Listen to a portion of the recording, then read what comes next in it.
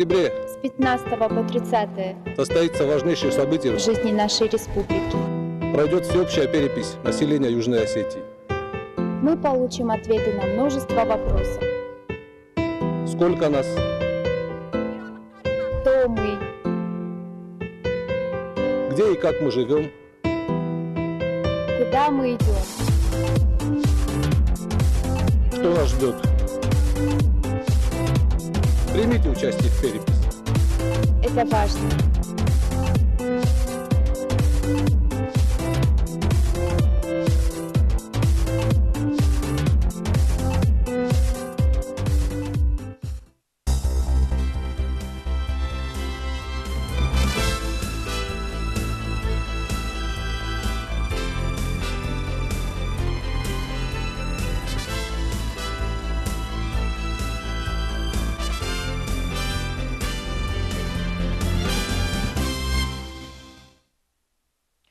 Добрый вечер. В эфире информационная программа «Сегодня» в студии Яна Плиева. Коротко о главных событиях дня в этом выпуске.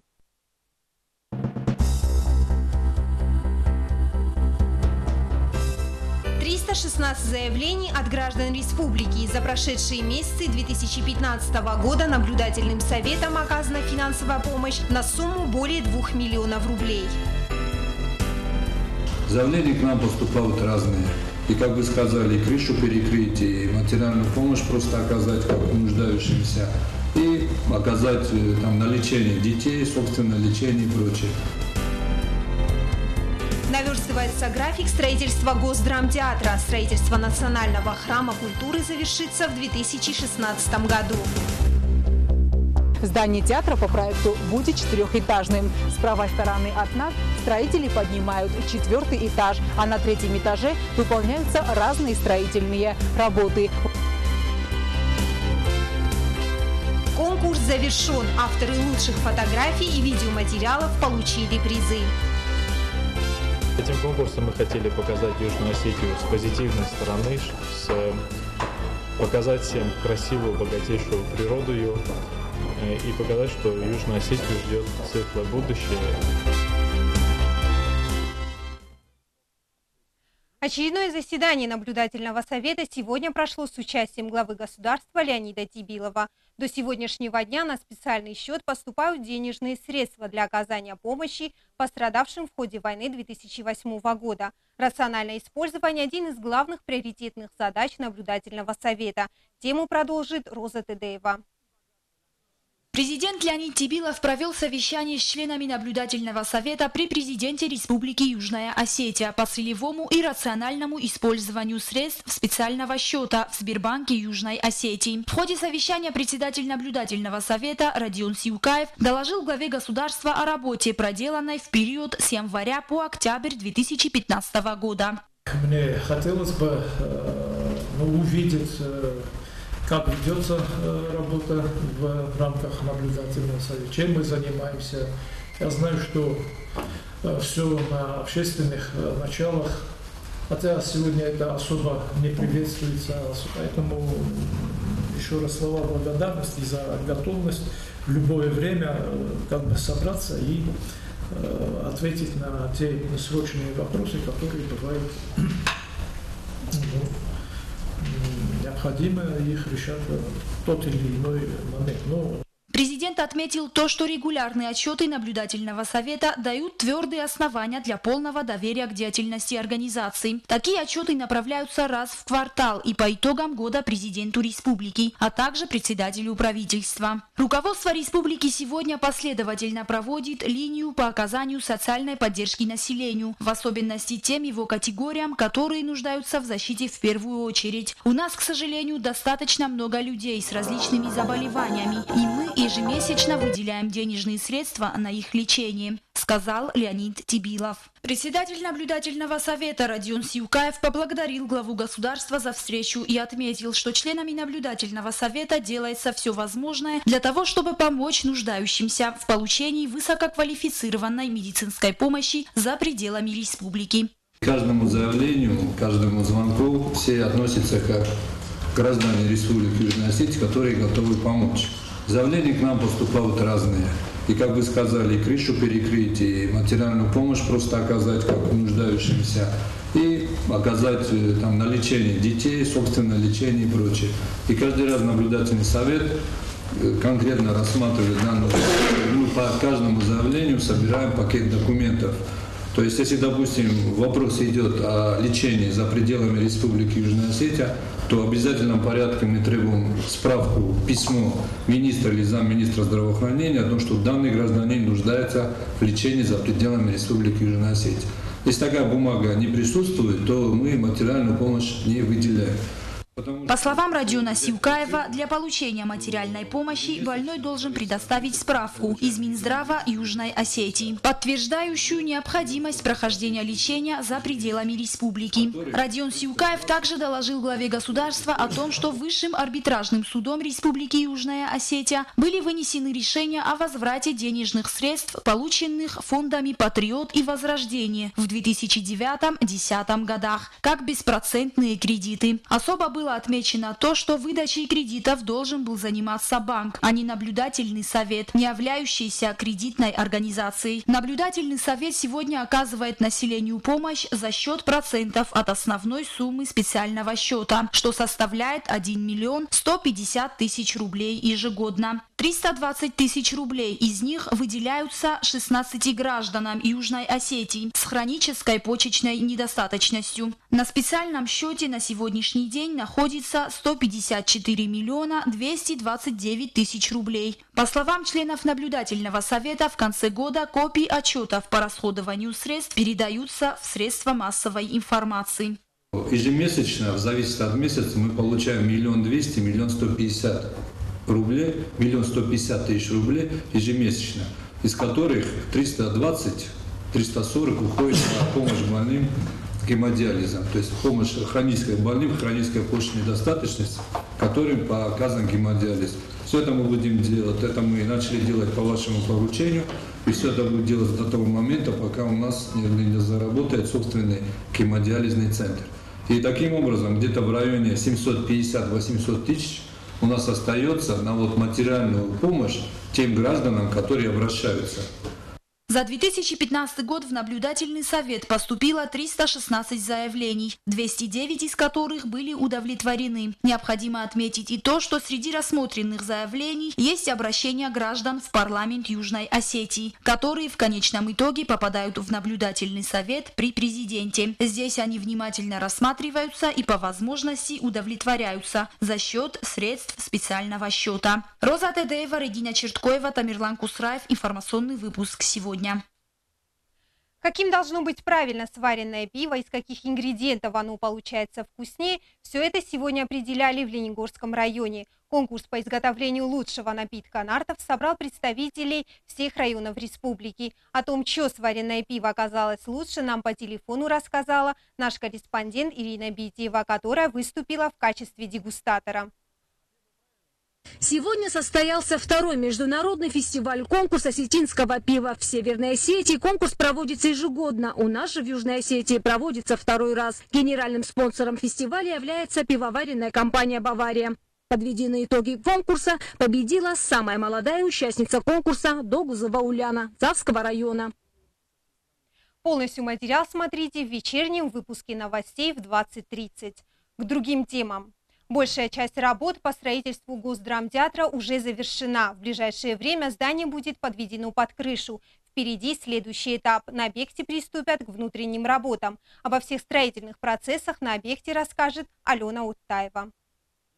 К строительству нового здания Государственного драматического театра, обозначенное в инвестиционной программе как приоритетное, приступили в 2013 -м. По плану объект должны были сдать в эксплуатацию в этом году, но по определенным проблемам пришлось перенести на 2016. Заместитель министра строительства Вадим Габараев отметил, что и сейчас есть небольшое отставание, и если проблем с финансированием не будет, работы завершатся в срок.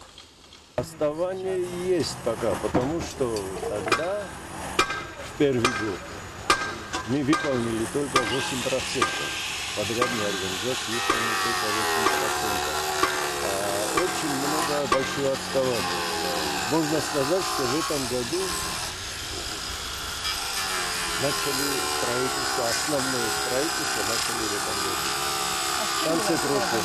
Ну, значит, они компетентные, значит, подрядные организации. На каждом рабочем процессе у нас достаточно, достаточное количество рабочих и специалистов.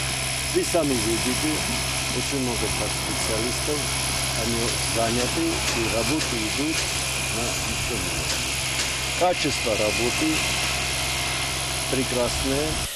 Строительстве Госдрамтеатра задействованы более 170 рабочих. Основной контингент составляют местные жители. Одни выполняют монтажные работы, другие трудятся над подвальными помещениями и подводят канализационные и водопроводные линии, а также устанавливается система вентиляции. На сегодняшний день строителям удалось возвести стены театра до третьего этажа. Мы находимся сейчас на третьем этаже. Здание театра по проекту будет четырехэтажным. С правой стороны от нас строители поднимают четвертый этаж, а на третьем этаже выполняются разные строительные работы. Укрепляется арматура, после чего рабочие приступят к строительству четвертого этажа. Здание Госдрамтеатра будет отвечать всем современным нормам и требованиям. Предусмотрены душевые, санузлы на каждом этаже, столовая, гардеробная, декоративные мастерские и многое другое. Важно также отметить, что новое здание Госдрамтеатра будет намного больше старого. В размере увеличили где-то в два раза. Сейчас в размере 40 на 70 этого здания. Это очень большое здание. Это очень большое. Потому что условия для артистов будут великолепные. Во-первых, э, для обслуживающего персонала тоже великолепные условия. Здесь буквально все есть, начиная с ресторана и кончая душевыми. Техникой, которой пользуются строители в работе, современная. К примеру, раствор в помещении доставляется через специальный шланг. Эти новшества позволяют рабочим активно вести работы. Вот этот подъемный кран с пультовым управлением. То есть внутри подъемного крана никто не сидит. Нажимаешь просто на пульт, и подъемный кран сам доставляет тяжелые строительные материалы к месту. Что касается зрительного зала, то он рассчитан на 500 человек, а фасадная часть здания театра в целом будет сохранена. Алена Утаева, Заурус информационный выпуск «Сегодня». Проблемам наркомании, алкоголизма и религиозных сект необходимо уделять пристальное внимание. Круглый стол, посвященный обсуждению этих проблемных для нашего общества вопросов, призвал участников к объединению для борьбы с негативными явлениями. Организатором круглого стола выступило Управление по внутренней политике администрации президента. На встречу были приглашены представители Управления по борьбе с незаконным оборотом наркотиков МВД, главврач наркодиспансера и уполномоченный президента по делам религии Соня Хубаева. В обсуждении приняли участие и представители молодежных организаций, студенчества и Комитета по молодежной политике. Когда говорят только о наркомании, я считаю, что надо всегда упоминать и об алкоголизме. Э, так, немножко э, поясню почему. Потому что спиртные напитки, они более дешевые, и когда нет наркотиков, то злоупотребляют употреблением э, спиртных напитков. И я считаю, что э, там такая же зависимость при употреблении спиртных напитков, как и при употреблении наркотиков. Полностью материал смотрите в нашем завтрашнем эфире. Определились победители фотоконкурса, объявленного информационным агентством «Спутник Южная Осетия». Комиссия отобрала лучшие работы в нескольких номинациях. На конкурсе были представлены не только фотоработы, но и видеоматериалы. По каким критериям выявлялись победители, расскажет Елена Газаева. Информационное агентство «Спутник» Южная Осетия назвала победителей творческого конкурса «Первая четверть», приуроченного к празднованию 25-летия со дня создания республики и организованного при поддержке Министерства культуры. Обладатели призовых мест были определены пользовательским голосованием на сайте в трех номинациях – фото, видео и детский рисунок, объединенных темой «Моя Осетия». Лучшей фотографией стала работа «Пик миротворцев» от Самаза Тедеева о вершине учения в Зауском ущелье, названное в честь российских миротворцев. В номинации «Детский рисунок» наибольшее количество голосов набрала работа от Самаза Чочиева «Быки на пашне», представляющая красочную зарисовку из сельской жизни. Победителем в номинации «Лучшее видео» стала работа «Диморское ущелье» Олега Икаева. Награды в 10 тысяч рублей получили участники, занявшие первые места. Обладатели вторых и третьих мест также получили памятные призы от «Спутник Южной Осетия». С приветственными словами и поздравлениями к участникам конкурса и гостям церемонии обратились министр культуры Республики Южная Осетия Мадина Устаева и директор мультимедийного информационного агентства «Спутник Южная Осетия» Нарик Ардян. Этим конкурсом мы хотели показать Южную Осетию с позитивной стороны, с, показать всем красивую, богатейшую природу ее э, и показать, что Южную Осетию ждет светлое будущее и чтобы мы привлекли э, больше людей, больше, э, дай бог, туристов, чтобы приезжали и смотрели на эти красоты. Мы сегодня наградили всех участников, кто выиграл призовые места. И надеемся, что в дальнейшем наше агентство «Спутник» будет также проводить разные конкурсы и привлекать много людей, начиная от детей, заканчивая более взрослыми. По словам Нарика Ардяна, проведение подобных конкурсов способствует выявлению активной творческой молодежи в республике. Далее в фойе киноконцертного зала «Чермен» была организована выставка лучших работ конкурса, которая продлится до 13 октября и бесплатно для всех посетителей. Елена Газаева, Замат Кудзев, информационный выпуск «Сегодня». Далее в программе новости спорта.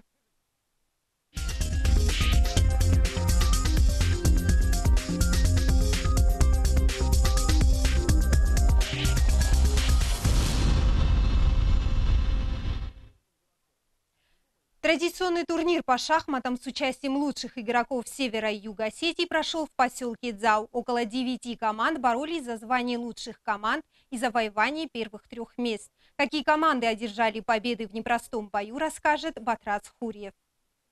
В поселке Зав прошел турнир по шахматам в честь автора Астинской энциклопедии Осетии Астины, лауреата премии Яблоко Нартов Казбека Челихсата. Шестой год подряд в них традиционно приняли участие сильнейшие шахматисты республики и пригородного района Северной Осетии. На этот раз за призы турнира боролись 9 команд. Турнир блестящий, э, братский, дружественный, отношения к нам испытываем э, с самого приезда Команды были поделены на две подгруппы. По регламенту турнира в финал выходили команды, занявшие первые места в своих подгруппах. Фаворитом соревнований считались команда пригородного района, которая выиграла турнир в 2013 году, и трехкратный победитель турнира команда Квайсын. Но неожиданно квайсынцы в подгруппе проиграли команде Министерства обороны, которая обыграла всех своих команд соперниц и вышла в финал. Команда Северная Осетия – это наши основные соперники. Вот мы разыграем с ними первое, второе место. Надеемся на успех, конечно. Ну, достаточно подготовленные кандидаты в мастера и мастера спорта, я думаю, что. А сейчас будет видно, кто сильнее. Вот финальная игра.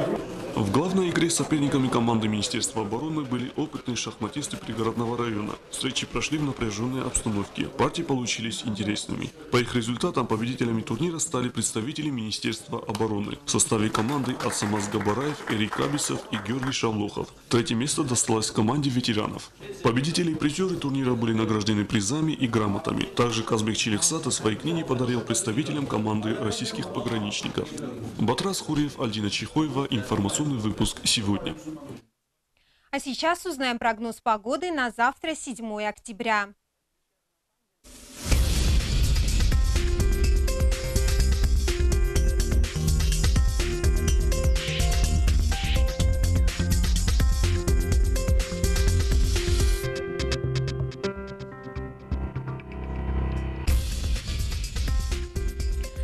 Знаурском районе республики пасмурно, дождь. Днем теперь температура воздуха плюс 14, ночью плюс 11. В Заурском районе пасмурно, днем пройдет дождь, днем плюс 17, ночью плюс 13. В городе Квайса переменная облачность, днем плюс 19 градусов тепла, ночью плюс 13. В Ленигорском районе Южной Осетии облачно, дождь во второй половине дня, днем плюс 18, ночью плюс 14. В столице республики в Схинвале пасмурно, а также ожидается дождь. Днем температура воздуха прогреется до плюс 20 градусов тепла, ночью плюс 15. На этом наш выпуск подошел к концу. В 20.30 с новостями вас познакомит Ирина Габараева. А я прощаюсь с вами. Всего доброго.